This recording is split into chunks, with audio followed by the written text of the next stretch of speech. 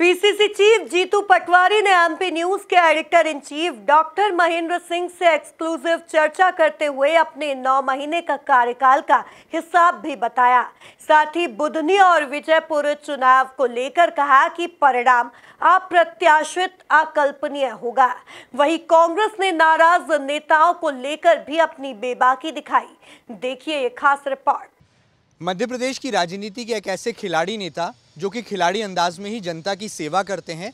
फ़िलहाल कांग्रेस पार्टी के प्रदेश अध्यक्ष के दायित्व को संभाल रहे हैं। पूरी की पूरी कांग्रेस पार्टी को बिखरी हुई पार्टी को एक रूपता और एक लय में लाने के लिए दिन रात मेहनत कर रहे हैं जीतू पटवारी। आइए बातचीत करते हैं मध्य प्रदेश की राजनीति में कांग्रेस पार्टी को किस रैंक पर वो ले जाने वाले हैं? जीतू जी आपका बहुत बहुत स्वागत है एमपी न्यूज़ टीवी पर। खिलाड़ी अंदाज है और हमने देखा कि एक खिलाड़ी की भांति अपनी टीम को यानी कि कांग्रेस पार्टी को आप बहुत ऊंचाइयों पर ले जाने के लिए जीतोड़ मेहनत कर रहे हैं।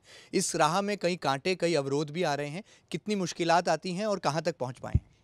बात यह है कि अवरोध हमेशा सफलता व्यक्ति को संगठन को स्ट्रेंथन देती है। अभी चूँकि लगातार दो तीन चुनाव कांग्रेस पार्टी हरी है स्वभाव है अभी मैं आया जब लोकसभा हारे तो उसका दायित्व मेरा ही था। तो पार्टी के वर्कर्स में ये भावना बनानी कि ये विचारधारा की लड़ाई है। ज़िंदगी में हार और जीत चलती रहती है और चुनाव में दो पार्ट दो सीट पे थी भारतीय जनता पार्टी आज सत्ता में है। तो ये एक होती हुई प्रोसेस है, पर विचारधारा के साथ हम मिल के काम करेंगे, अनुशासन से करेंगे, कांग्रेस के आइडियोलॉजी को मानेंगे, गाँव गरीब और किसान की बात करेंगे, जो राजनीतिक रूप में जिसको नीड है, उसकी लड़ाई लड़ेंगे तो परिवर्तन ज़रूर होता है। और मैं मानता हूँ कि जो पिछले नौ महीने में परिवर्तन है, अभी विजयपुर का जो चुनाव होगा, उसका परिणाम बहुत पॉजिटिव सकारात्मक कांग्रेस के पक्ष में होगा। और जो बुधनी के भी परिणाम होंगे, वो आश्चर्यचकित करेंगे प्रदेश को। और जो हमारा अमरवाड़ा का चुनाव उपचुनाव निकला वो भी हम पहले बीस हज़ार से हारे थे फिर आखिरी तीन हज़ार टेबल पे हारे हम। तो परिवर्तन होता है पर प्रयास की आवश्यकता है। और मेरी पार्टी हम सब एकजुट है और मैं मानता हूँ कि मेरी पार्टी का हौसला बनाना उसको मोबिलाइजेशन करना और उसको सक्रिय करना मेरा हमारा सबका दायित्व है और उस पर हम काम कर रहे हैं। आपका गर्भगृह पूरा हो चुका है। नौ महीने का वक्त बीत गया आपके कार्यकाल को। क्या लगता है इस नौ महीने में नौ रंग आपने देखे हैं? और हमने देखा है कि जब एक युवा प्रदेश कांग्रेस का अध्यक्ष बनता है तो बड़े अनुभवी राजनेताओं के बीच तालमेल और तालमेल और समन्वय की एक सियासत भी करना पड़ती है। वो करने में कितना सक्सेसफुल हुए हैं? और इन नौ महीनों में कौन से नौ रंग आपने कांग्रेस पार्टी को दिए? नहीं बात यह है कि बिल्कुल सही है कि जनता में पार्टी के वर्कर संदेश देते हैं जाके और पार्टी के पक्ष में पब्लिक को करते हैं। तो एक अध्यक्ष होने के, जिम्मेवारी होने के नाते मेरा दायित्व है कि मुझे सबसे पहले मेरी पार्टी के कार्यकर्ताओं का, नेताओं का मन जीतना पड़ेगा और उनके सबके साथ मिलकर अपनी पार्टी के स्ट्रेंथन के प्रोग्राम को मूर्त रूप देना पड़ेगा। तो उस पर लगातार प्रयास जारी है और मैं समझता हूँ कि समन्वय और सक्रियता से हम सब मिलके काम करते हैं।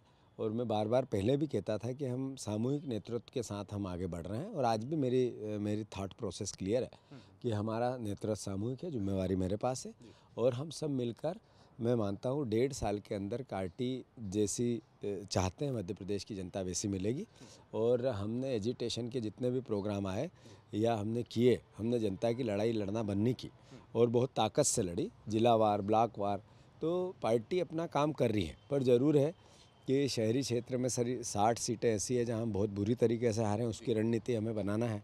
हमें लोकसभा, विधानसभा के परिणाम इतने ख़राब रहे, इसलिए निचले स्तर पर केडर को मज़बूत करना, पार्टी की विचारधारा को ले जाना, उसके लिए प्रोग्राम बना के उसको अल्टीमेटली टाइम बॉन्डिंग प्रोग्राम में मूर्त रूप दिलवाना, ये सब पार्टी का काम चल रहा है।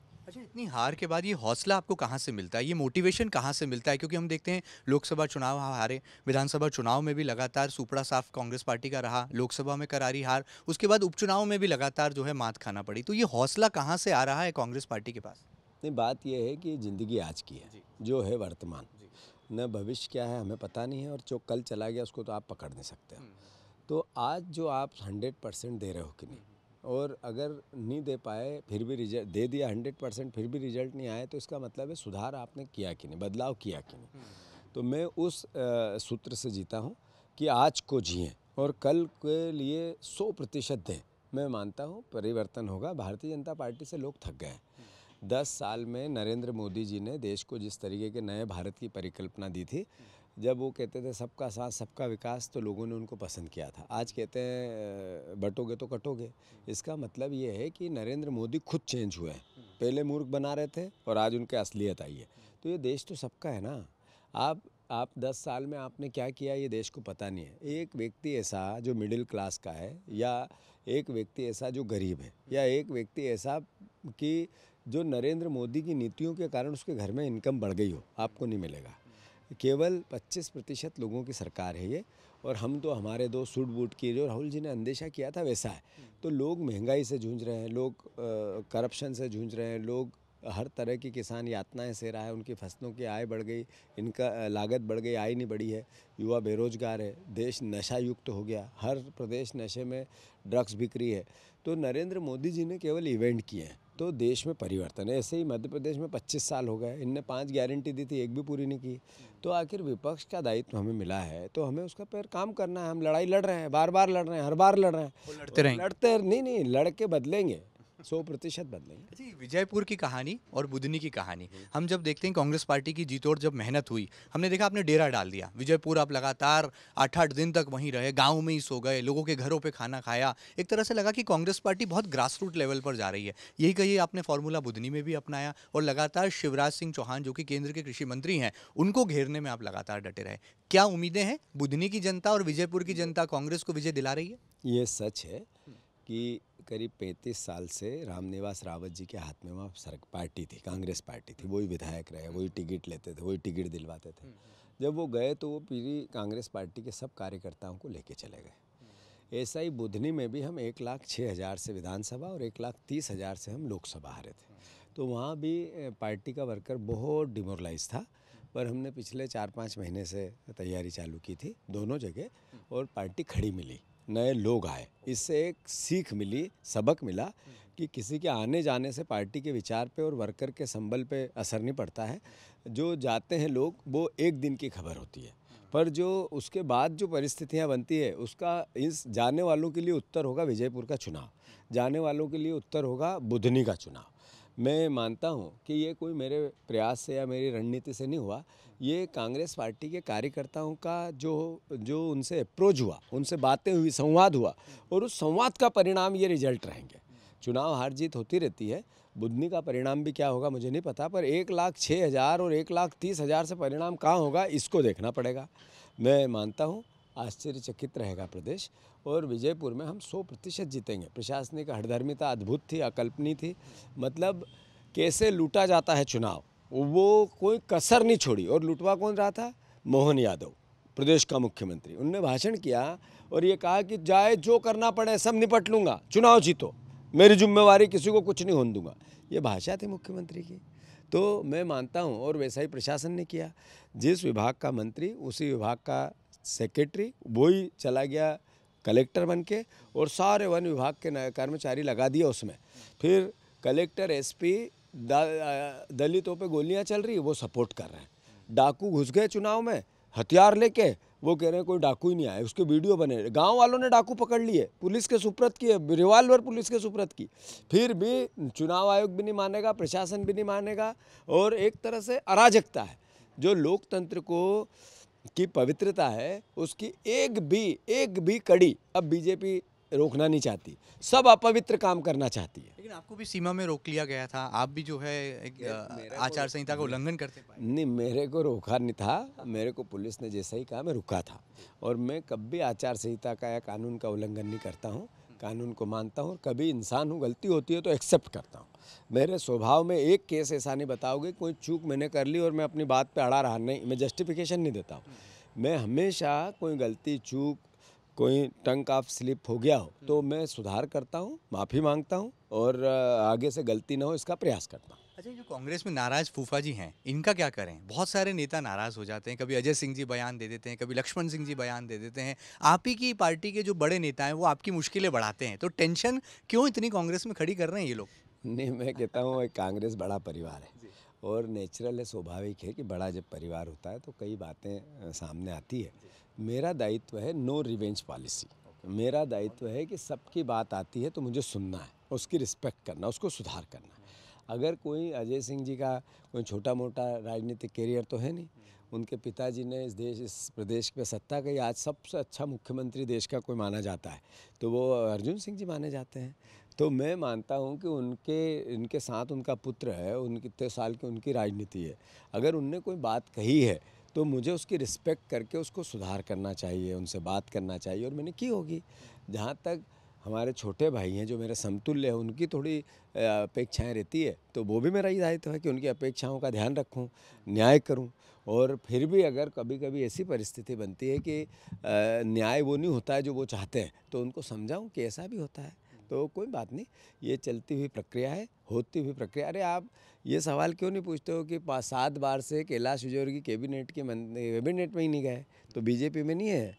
एक मंत्री ने कहा खड़े होकर पूर्व गृह मंत्री ने मेरे ट्रेन टे, फ़ोन टेप हो रहे हैं। ये बीजेपी में नहीं है।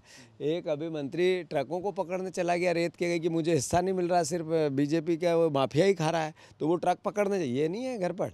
बीजेपी के कितने मंत्री कितने समय पे अलग अलग बयान देते हैं?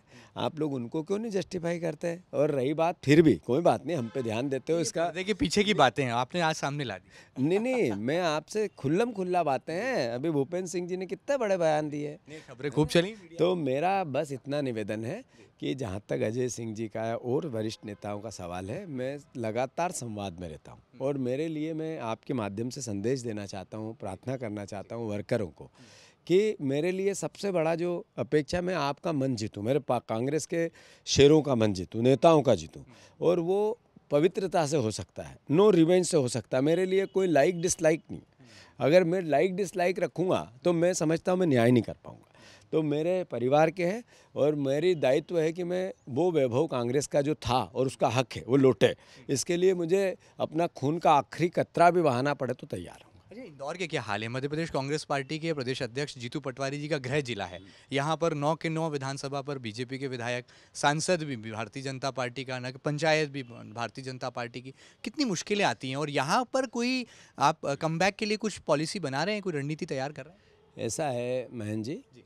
कि मैं उन लोगों में से नहीं हूँ कि अपनी कमजोरियों को छुपाऊँ और बहाने भी नहीं बनाऊँगा बिल्कुल सच है इंदौर और शहरी क्षेत्र में कांग्रेस पार्टी का जनाधार भी घटा है, वर्कर भी डिमोरलाइज हुआ है, संगठन भी थोड़ा जैसा होना चाहिए दुरुस्त, वैसा मतलब कमज़ोरी आई है और इन सब बातों को लेकर कांग्रेस पार्टी गंभीर है।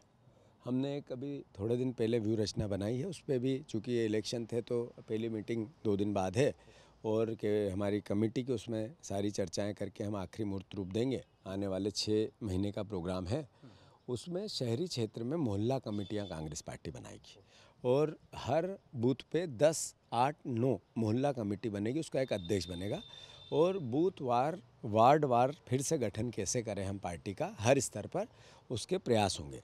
भारतीय जनता पार्टी भी ऐसे ही बड़ी बनी है बिना मेहनत से कुछ नहीं मिलेगा। हमारे वर्करों से भी मेरा आग्रह है कि या तो भारतीय जनता पार्टी की यातनाएँ सहो या उनका जनता भी उनके कारण चूँकि उनका वर्चस्व बढ़ता जा रहा है प्रशासनिक तो जनता भी ये सोचती है कि ये जीतते हैं तो उनके खिलाफ नहीं आ पाती है। तो अपने को मज़बूत करेंगे तब जनता हमारे तरफ़ देखेगी। तो मैं मानता हूँ कि कांग्रेस मज़बूत होने के लिए सबके सहयोग की अपेक्षा है। इंदौर जैसे, इंदौर तो है ही, पर इंदौर जैसे जितने भी नगर निगम हैं, शहरी सीट, सीटें हैं, उसको लेकर कांग्रेस पार्टी, मोहल्ला कमेटियाँ और ग्राम पंचायत, ग्रामों में ग्राम पंचायत कांग्रेस कमेटी का गठन कर रही है। और उसके साथ ही पार्टी के निचले स्तर पर केडर तैयार हो, स्ट्रेंथन हो, मजबूती आए, वर्कर दौड़ने लगे। इसके एक साल का पूरा व्रत प्रोग्राम बना है, सब जिम्मेवारियाँ विधानसभा वार दी जा रही है और लोकसभा वार जिला वार, सब सीनियर नेताओं को इन्वॉल्व किया जा रहा है। और मैं मानता हूँ, आने वाले समय में आपको बहुत अच्छा कांग्रेस पार्टी का वातावरण और मजबूती दिखेगी। चलिए उम्मीद पर दुनिया कायम है। एक और सवाल जनता की तरफ़ से आता है कि क्या जीतू पटवारी जी अगला विधानसभा चुनाव 2028 का राऊ विधानसभा क्षेत्र से ही लड़ेंगे या इलाका बदलने वाले? नहीं राऊ मैंने मेरा परिवार है। मैं बार बार कह चुका हूँ। मैं सौ बार ये बात दोहरा आपकी टीवी पे ही पचास बार दोहरा चुका होगा कि ये जीत और हार से इसका रिश्ता नहीं हो सकता। है जब से मैं हारा हूँ इस बार मैंने कभी जो जीते हमारे जनप्रतिनिधि, उनको क्रिटिसाइज़ नहीं किया। न उनके लिए बुरी बात बोली, न जनता पे गुस्सा उतारा, न मेरे कार्यकर्ताओं को ये कहा कि ये गलती करी तुमने या ये किया। जो जीता वो सिकंदर। अगर व्यक्तिगत रूप से मेरे में कोई कमी होगी, जो मेरे सौ प्रतिशत प्रयास के बाद भी जनता ने एक्सेप्ट नहीं किया तो ये जनता ने नहीं किया, इसका मतलब है जनता जो सोचती है कुछ सोच समझ के सोचती है, उसकी रिस्पेक्ट होनी चाहिए। रही बात राहू की, ये चुनाव के लड़ने और चुनाव के जीतने और चुनाव के हारने का विषय ही नहीं है। मैं जब अंतिम सांस होगी मेरी तो इन्हीं लोगों के साथ उस पर जाऊँगा कंधे पे, इतना प्यार है मुझे इनसे। अच्छा बताइए आपका सियासी दुश्मन कौन है? क्योंकि हम देखते हैं जब से आप प्रदेश कांग्रेस के अध्यक्ष बने कुछ लोग हैं जो कि मीडिया के कैमरों के सामने बेबाकी बताते हैं आंकड़े रखते हैं दावे किए जाते हैं आरोप लगाए जाते हैं। इंदौर से एक आवाज़ निकली पूरे प्रदेश में उसने आप पर आरोप के कई लाछरे लांछन लगाए। मैं बात कर रहा हूँ व्यापार उद्योग प्रकोष्ठ के अध्यक्ष रहे हैं अजय चौरड़िया। किस तरह से आपको लगता है कि सियासी दुश्मन है क्या? पुरानी बात हो गई भूली बिसरी बातें हैं। पर चूँकि मैंने पहले भी ये बयान दूसरी बार दे रहा हूँ अब वो मेरे परिवार के बहुत सीनियर बुज़ुर्ग हैं, व्यक्तिगत रूप से मैं उनके पेड़ छूता हूँ। और बहुत बचपन से उनका हर तरीके का सहयोग मुझे मेरी व्यक्तिगत ज़िंदगी में मुझे मिला है। जहाँ तक प्रश्न है, उनके आरोप प्रत्यारोप का, मैं मानता हूँ कि उनका अधिकार हो सकता है, पर पार्टी ने उसको जिस गंभीरता से लिया है, वो आपको देखना पड़ेगा। मतलब यहाँ कितना भी बड़ा नेता कोई भी हो हम अनुशासन के दायरे में हैं। छोटा अगर अनुशासनहीनता करेगा तो माफ़ किया जाएगा, समझाया जाएगा। पर बड़ा करेगा तो उसके रास्ते पार्टी ने डिक्लेयर कर दिए क्लियर कर दिए मैंने अजय चौरड़िया जी के खिलाफ कार्रवाई नहीं की। जीतू पटवारी ने तो खूब प्रयास किया, कोई बात नहीं, मैं जाके बात कर लूँगा, मैनेज करेंगे। पर पार्टी ने निर्णय लिया कि नहीं नहीं, ये इतना सहन नहीं करेंगे। और इसमें मैं मानता हूँ, राष्ट्रीय स्तर पे मैंने अवगत कराई थी सब बात, उनने भी जो आदेश दिए, वही हुआ अच्छा आपकी टीम कैसी चल रही है? टीम जीतू पटवारी कैसी है? जो खिलाड़ी इन हो गए, वो तो बहुत खुश है, लेकिन जो आउट हुए हैं, उनको कैसे मना कोई कोई आउट नहीं हुआ है। सब परिवार के लोग हैं, सबको काम मिलेगा, बहुत काम है। पद की बात जहाँ तक है, पार्टी, चूँकि ये ज़रूर हाँ बहुत गंभीर विषय है कि नए पार्टी को करना है, नए लोगों को इन्वॉल्व करना है, नए सोच को लाना, नए विचार को लाना है। पार्टी 25 साल से बाहर है तो ऐसे में कैसे हम नयापन लाएँ और फिर उनसे काम भी लें ऊर्जा। इसका मतलब पुराने लोगों की ऊर्जा का उपयोग नहीं, ऐसा नहीं है। पुराने परिवार के लोगों का मार्गदर्शन, उनका सहयोग, उनका बिना पद से पार्टी की सेवा, लगातार अब जैसे मैं, हमारे इंदौर की बात, सज्जन वर्मा, कोई पद नहीं है, पर लगातार पीसीसी में सक्रिय रहते हैं। ऐसे और भी लोग हैं। इंदौर में अश्विन जोशी जी बड़े भाई हैं मेरे। वो अभी कोई पद पे नहीं है। पर मैं तो उनसे, बचपन से उनसे देखा, समझा, उनने मेरे को मतलब एक तरह से जो बच्चा होता है, भाई होता है, वैसा देखा, पर वो पार्टी के नेता हैं। पर उनने मेरे से बात की दो तीन बार, कही, कोई बात नहीं, मज़बूत रह तू, काम कर, मैं साथ हूँ। ऐसे कई और जहाँ तक ये इंदौर में हमारा छोटा भाई है अमन, इसकी नाराज़गी भी अगर है तो मामला अनुशासन का था। तो कोई बात नहीं, उससे मेरी बात हुई है। और छोटा भाई, ऐसे कोई लोग जो परिवार के, मेरा दायित्व है उनको समझाना, यही मेरा काम है। एक आखिरी सवाल राहुल गांधी क्या एमपी कांग्रेस की रिपोर्ट ले रहे हैं आपसे? और उनको रिपोर्ट आप जो दे रहे हैं उसमें कितने नंबर आ रहे हैं? इसका भी खुलासा करें कोई नंबर राजनीति में दो तरीके से मिलते हैं। किसी के देने से चाहे बड़ा नेता हो या छोटा सफलता और असफलता। अभी पार्टी सफल नहीं हुई है इस नौ महीने में। तो नंबर कम है।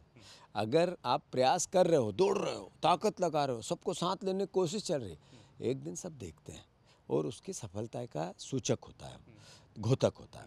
तो मैं मानता हूँ सफलता ही नंबर होते हैं। जिस दिन सफल होंगे सौ नंबर लेंगे। टॉप करने वाले हैं आप? Hundred percent. जब दिन रात प्रयास सौ प्रतिशत होते हैं तो ईश्वर कायनात भी आपकी मदद करने आती है। और जो भारतीय जनता पार्टी है इसने तो कोई कर्म ऐसे किए ही नहीं किए बनी रहे। केवल सत्ता का दुरुपयोग नफरत घृणा और लोगों को गुमराह करके सत्ता की बैसाखियों पे है। मतलब झूठ की बैसाखियों पे है। इसका गिरना आज नहीं तो कल तय है। चलिए, ज़िंदगी की यही रीत है, हार के बाद ही जीत है।